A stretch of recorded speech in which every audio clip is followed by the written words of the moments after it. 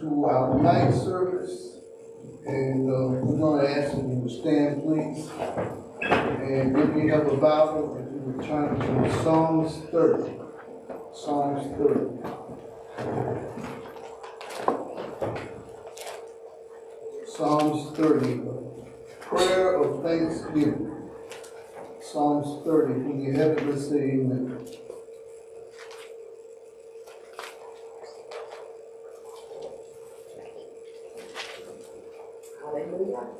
Psalms 30. Amen. Psalms 30, and it reads, I will extol thee, O Lord, for thou hast lifted me up, and hast not made my foes to rejoice over me. O Lord my God, I cried unto thee, and thou hast healed me. O Lord, thou hast brought up my soul from the grave. Thou hast kept me alive, that I should not go down to the pit. Sing unto the Lord, O ye saints of hills, and give thanks at the remembrance of his holiness. For his anger endures but for a moment, and his favor is life.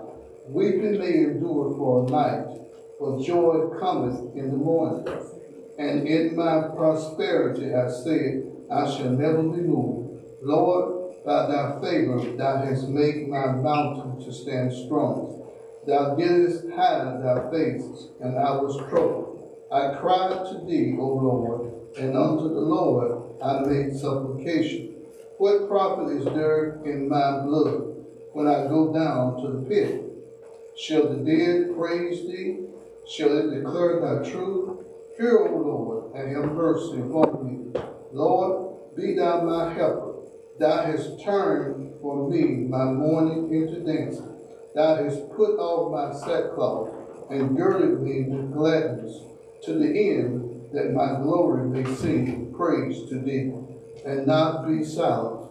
O Lord my God, I will give thanks unto thee forever and ever.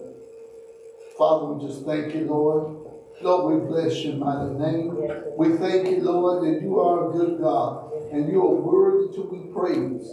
And if even we come before you, Father, Father, with praise and thanksgiving, we thank you, Father, for your Son Jesus.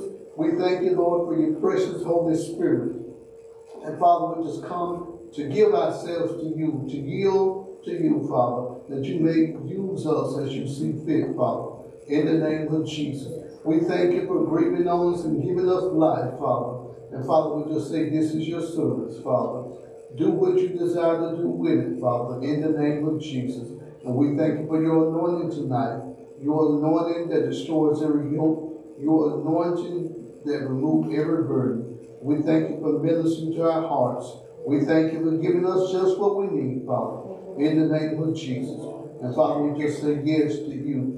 Yes to your way, Father. And Father, we just give you all the praise, all the glory, and all the honor. In Jesus' name. Amen. Amen. Amen. Well, praise the Lord, everybody. Amen.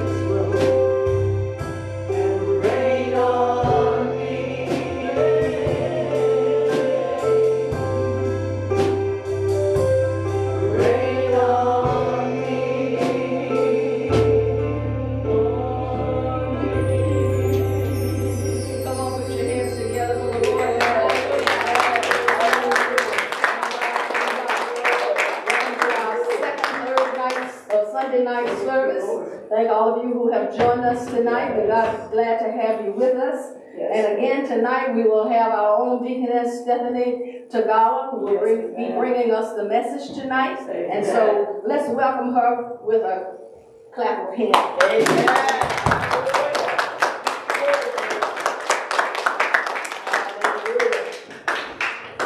Thank you, Lord.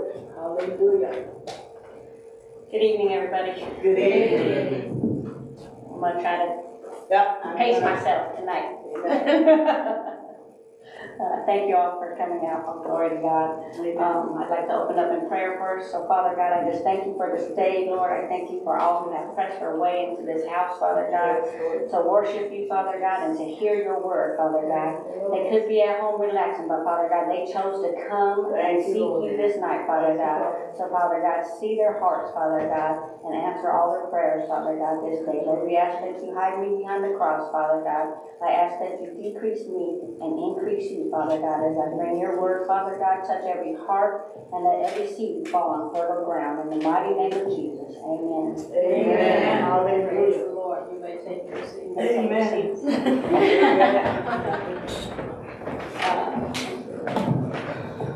Um, Tonight, uh, we're going to be talking about uh, lukewarm love or obedient love. And I'll be uh, going everywhere, but the main scripture is going to be coming out of Matthew 22, 37 to 39. And I got um, two versions I'm going to read out of. Uh, The first version I'm going to read out of is out of the New King James Version. And um, it reads, uh, Jesus said to him, You shall love the Lord your God with all your heart, with all your soul, with all your mind. This is the first and great commandment, and the second is like it. You shall love your neighbor as yourself. And I found this new version on the Bible app called the Easy Bible Version.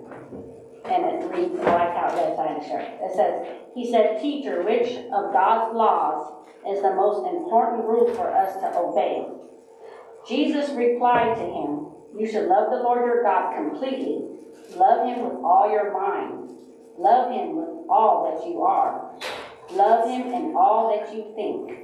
This is the greatest rule and the most important of all God's laws. The second rule is also important. Like the first one, you should love other people as much as you love yourself. Yes, I'd like to briefly uh, tell you what took place before this great commandment was spoken from Jesus himself. In this previous chapter, the high priests, Pharisees, Sadducees, together known as the Sanhedrin, were hammering Jesus with questions so that they can convict him of any crime possible. Before we go on, let's look at the description of what these leaders' jobs were back in that day. The high priest, um, The first appointed high priest we find in the Bible was Aaron in Exodus 28, 1 through 3. The Lord commanded Moses to consecrate his brother Aaron and his sons to minister to the Lord in the priest's office. Aaron's descendants served as the high priest in Israel, ministering in the tabernacle and later the temple primarily as mediators between man and God. The Levitical priests bore the responsibility of offering the sacrifices required by the Mosaic law, which you can learn more about if you read the book of Exodus and Leviticus. So that's a homework assignment. the Sadducees, sometimes historically called Zadokites, are thought by some to have been founded by a man named Zadok in the second century BC. In 1 Chronicles 16, Zadok was named the first high priest in the time of Solomon to, Solomon to serve in Solomon's temple. Another school of thought is that the word Sadducee is related to the Hebrew word sadak, meaning to be righteous, and they thought they were really righteous. They tended to be wealthy and held powerful positions, including that of chief priest and high priest. And they held the majority of the 70 seats of the ruling called the Sanhedrin.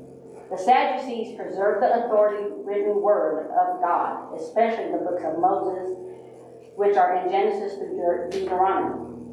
While they could be commended for this, they were not perfect with their doctrinal views. First, they were extremely self sufficient to the point of denying God's involvement in everyday life. Mm-hmm. They denied any resurrection of the dead, and you can find that in Matthew 22, 23. They denied the afterlife, holding that the soul perished to death, and therefore denying any penalty or reward after the earth- earthly life, and you can find that in Acts 23, 8. They denied the existence of a spiritual world like angels and demons, and that's also in Acts 23, 8. Summed up, the Sadducees were, as Pastor Bob used to say, they were sad, you see. Uh, Moving on to the subject at hand, uh, before Jesus was being hammered with questions from the Sanhedrin to trap him, we see in Matthew 21 through chapter 22 that Jesus had made his triumphal entry into Jerusalem on a donkey, which was fulfilled from the prophets in Isaiah 62 11 and Zechariah 9 9. Jesus cleansed the temple and turned over all the tables and threw out all who were selling in the temple as if they were in a flea market, reminding them of the written word in Isaiah 56 7 about them making a den of thieves out of his house of prayer. After Jesus healed the blind and the lame, the children praised Jesus in the temple and shouted, Hosanna to the Son of David. That made the Sanhedrin angry, and they questioned if Jesus could hear what the children were saying. Jesus responded with a quote from Psalms 8:2. Out of the mouth of babes and nursing infants, you have perfected praise. Then left for Bethany.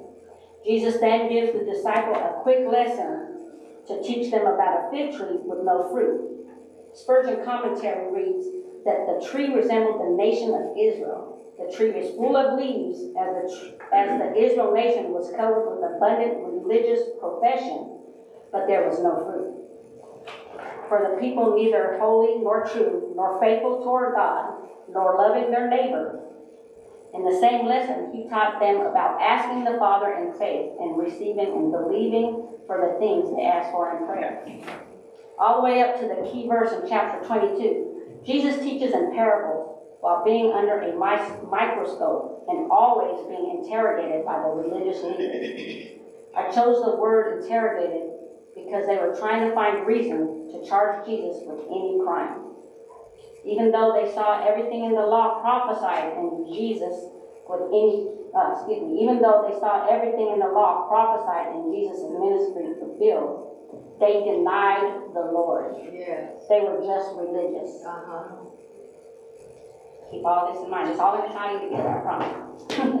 now then, remember when you stay in the Lord's will as Jesus, our Lord did, you will be under a microscope. People are always watching you, reading your every move. Most of the time, just to see if you mess up, so that they can have a reason not to become a Christian. Or to throw accusations about your bad witnessing through the life you're living. They will do it to your face and behind your back. So be careful to be doers of the word and not just hearers only.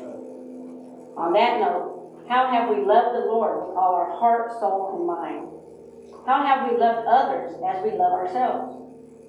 Keep your answers between you and God. I'm going to ask questions that you need to answer yourself and be honest with yourselves in doing so. Questions that you need to remember God and you are the only one who knows the answers. Oh, yeah, and the people who are watching.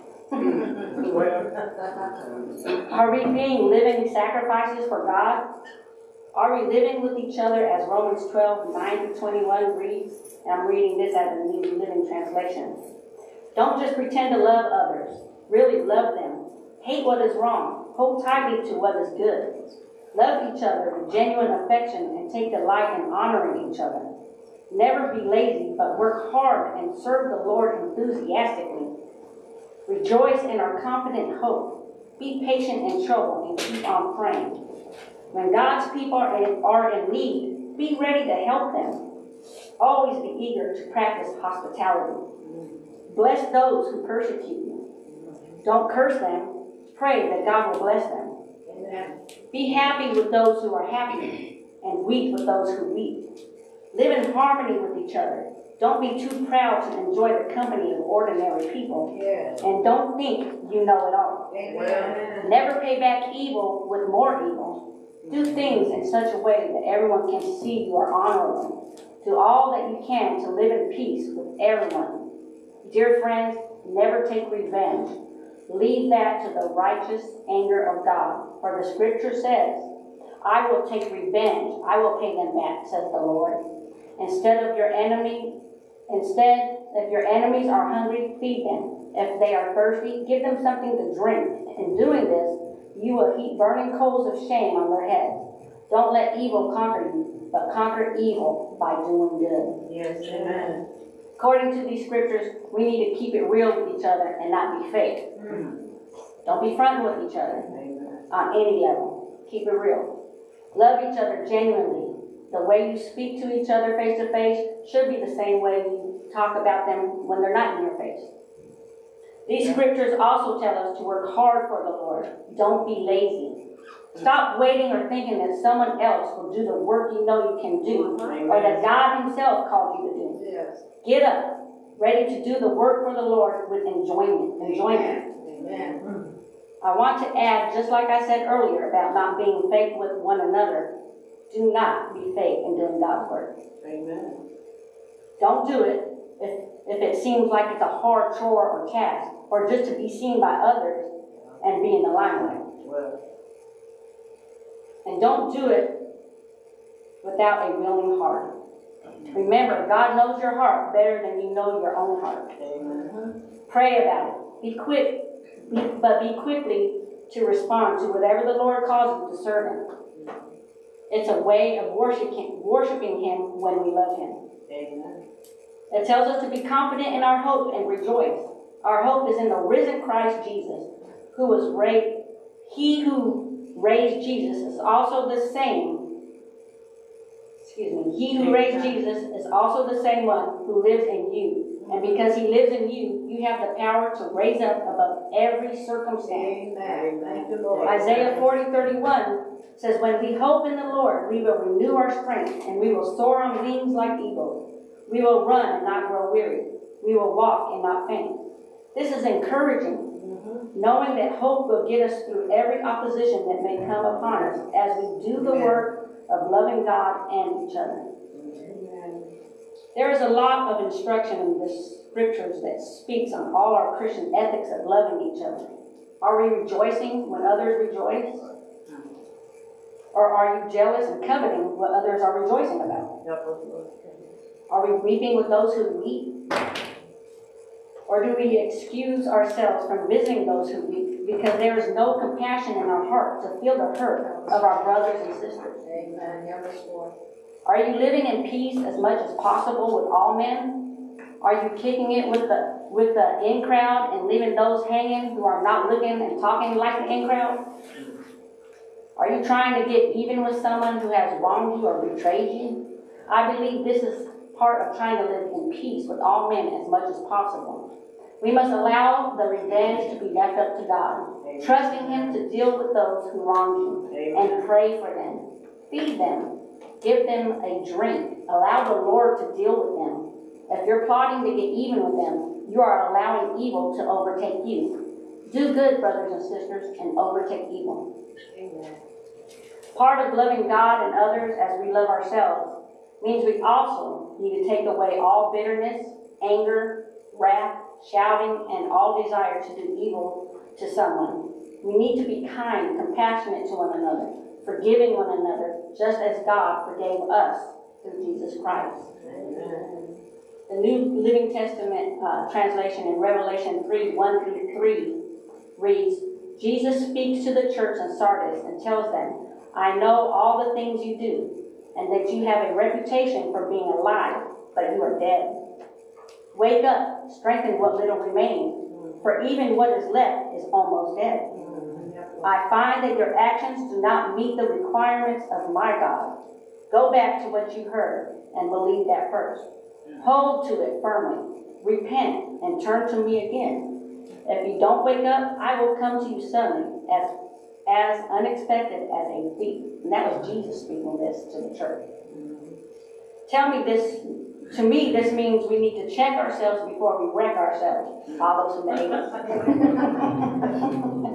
He tells us to wake up. Don't live for reputation for the world like we see the Sanhedrin did in the gospel.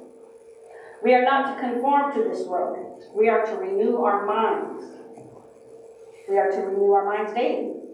We're instructed to go back to what we first heard about the Lord and hold firmly to it. We need to repent from all, all forms of self-love and promotion. Remember the grace that was given through Jesus on the cross. Repent, church. Do as God commanded us. Amen. Love Him with all our heart, mind, and soul.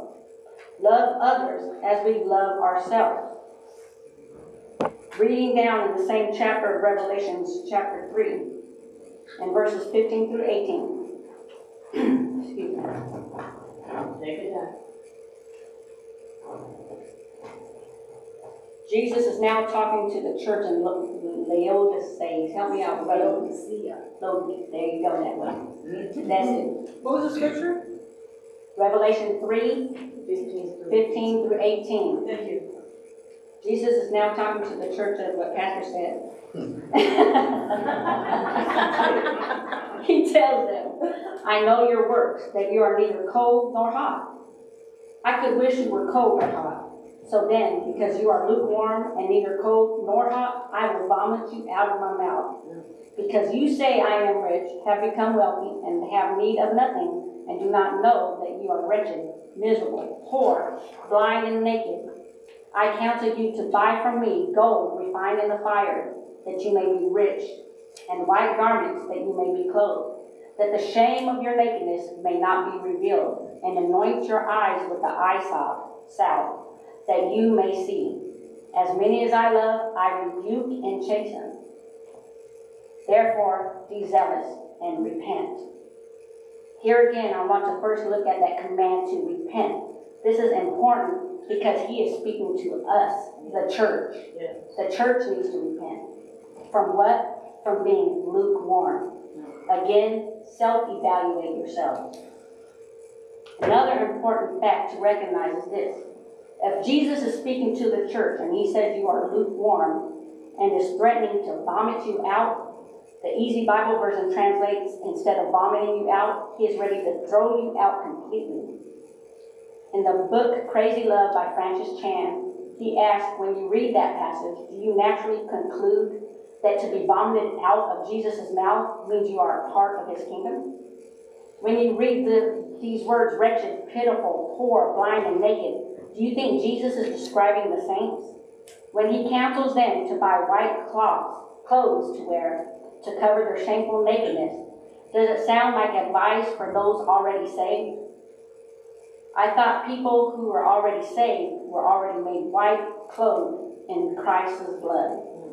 The conclusion here is Jesus wants all or nothing. Yes, amen. And I'm gonna come off my notes and I'm gonna read some examples in that book that I told you guys about, Crazy Love, that he was giving as examples of what lukewarm is. So I'm gonna briefly go through some, what he said, because I felt like I needed to share it with you. Lukewarm people attend church fairly regularly. It is what is expected of them. What they believe good Christians do, so they go. The Lord says, These people come near to me with their mouth and honor me with their lips, but their hearts are far from me. Their worship of me is made up of only rules taught by men. Lukewarm people give money to charity and to the church as long as it doesn't impinge on their standard of living. If they have a little extra and it is easy and safe to give, they do so. After all, God loves a cheerful giver, right? The scripture says, As he looked up, Jesus saw the rich putting their gifts into the temple treasury. He also saw a poor widow put in two very small copper coins. I tell you the truth, he said, this poor widow has put in more than all the others. All these people gave their gifts out of their wealth, but she, out of her poverty, put in, put in all she had to live on. And that's in Luke 21, 1 through 4. Lukewarm people are moved by stories about people who do radical things for Christ, yet they do not act.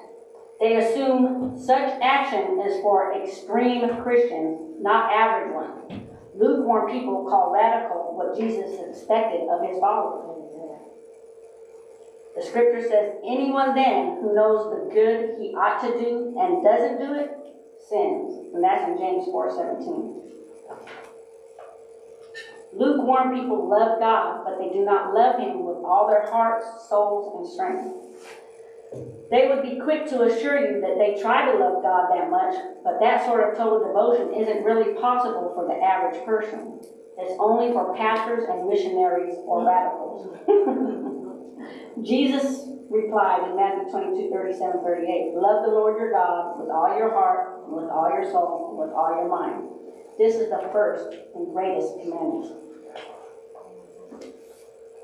Lukewarm people are thankful for their luxuries and comforts and rarely consider trying to give as much as possible to the poor. They are quick to point out Jesus never said money is the root of all evil, only that the love of money is.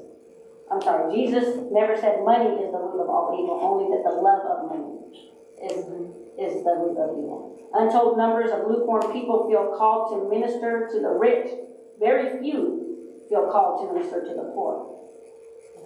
And the scripture says, Come, you who are blessed by my Father, take your inheritance, the kingdom prepared for you since creation of the world. I tell you the truth, whatever you did for me, of the least of these brothers of mine, you did for me. Um, I think I got one more here, two more. Lukewarm people do not live by faith.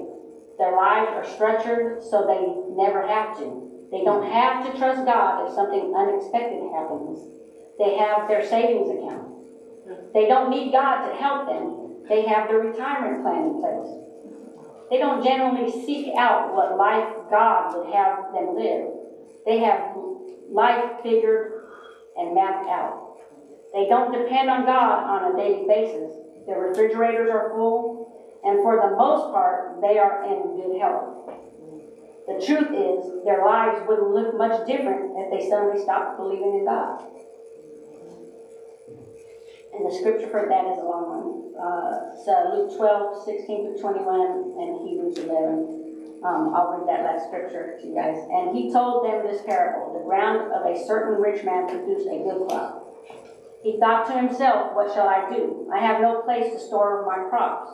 Then he said, This is what I'll do. I'll tear down my barns and build bigger ones, and there I will restore all my grain and my goods. And I will say to myself, You have plenty of good things laid up for many years. Take life easy, eat, drink, and be merry. But God said to him, You fool, this very night your life will be demanded from you. Then who will get what you have prepared for yourself? This is how it will be with anyone who stores up things for himself, but is not rich toward God. And that's the last one I'm going to read now. There's a whole bunch of that. Crazy love, girl. Crazy Love by uh, Francis Chan. So, are you giving all to Him? Think about that. Are you giving all to Him? Where or what is your time spent on? Who are you loving the way God loves, despite the wrong that is done to you by them? Or how they look, maybe tattooed and sleeved up, piercings all over their face, or with dirty, stinky clothes because they're homeless and they ain't got nowhere to shower or wash their clothes. Let's not be religious like the Sanhedrin were. Let's take every blessing the Lord has blessed us with and love those as we love ourselves and bless the less fortunate with God's love. Amen. Let us obey God's commands and love Him with all our heart, soul, and mind. Then I'm sure all the kingdom work you do for the love of God will come with joy and be effortlessly as we rejoice in all He does through His yielding vessels. Amen. Okay, God. Amen.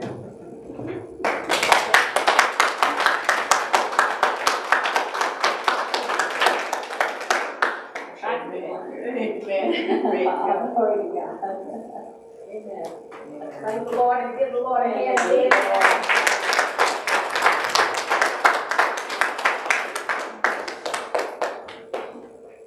Thank the Lord for training up. Amen. In the ways, of- in his ways. Thank God for Sister Stephanie again tonight. I thank the Lord for each one of you And while we're here tonight, I wanted to see if anyone here needs prayer. We want you, I don't want to just stand up here and pray for you. We want you to come forward and we're gonna lay hands on you, and we're gonna pray for you. Because we're not just meeting and greeting, we're here to minister to one another. So is there anyone who needs prayer tonight? Come forward. Sister Elvira? Yes. You come forward and help us pray. Elder Payne.